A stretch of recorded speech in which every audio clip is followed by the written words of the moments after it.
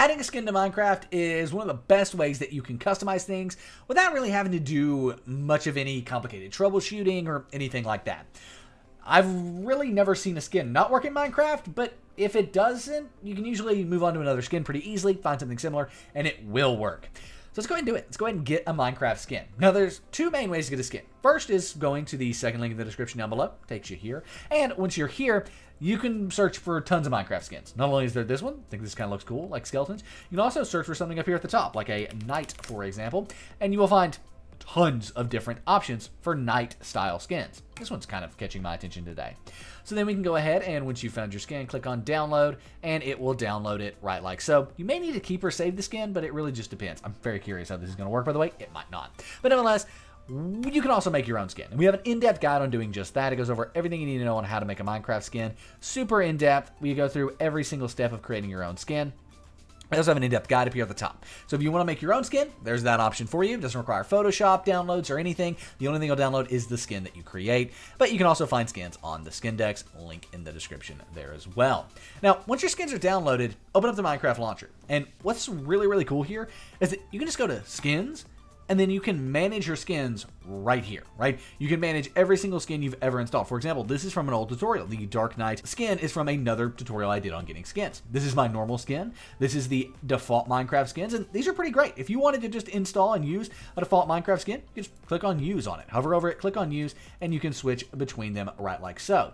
But what's cool is you can also switch between the existing skins. But if you want to add a new skin to this area, go ahead and click on the New Skin button. We're going to go ahead and add the skeleton. Like I said, I'm kind of curious how that's going to work.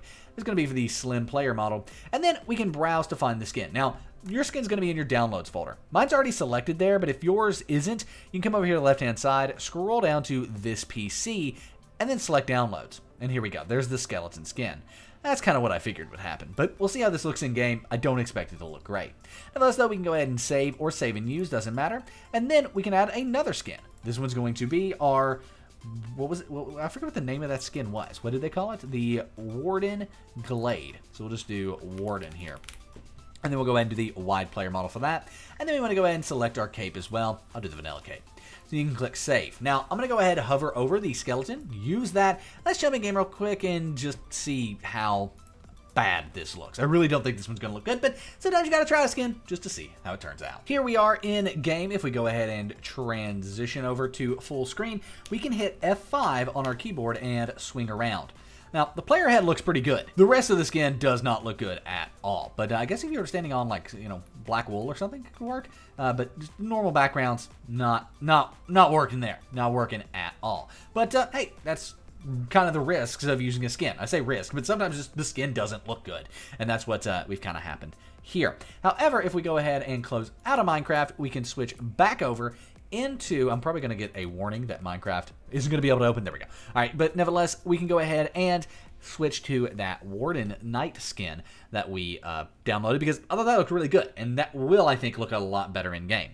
It's actually really cool that you can, um, you know, see the preview of the skin right here as well. By the way, hover over that, click use, see the preview, right? This one looks a lot better. So let's go ahead and play with this skin and we'll see that for ourselves. So again, here we are in game. And again, if we go ahead and hit F5, this one looks so much better. Look at that. Love it. So that's an example of a skin that uh, looks a lot better. And you can actually take this and make your own skin based upon this one. Let's say you wanted to change the red to a green or something like that, you could do that. But nevertheless, thank you so much for watching. If you enjoyed the video, give it a thumbs up, subscribe to the channel for more incredible content every single day of the week. My name is Nick. We'll see you in the next one, and uh, be sure to check out one of the videos on your screen. YouTube thinks you'll like them. Peace.